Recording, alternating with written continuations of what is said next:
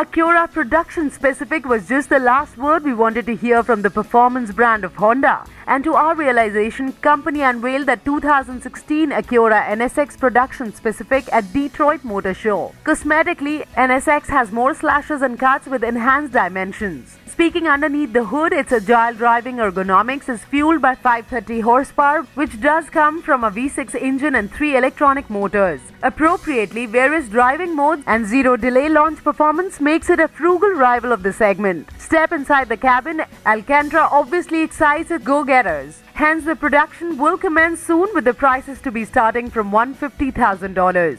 Stay tuned to us for more updates from Detroit.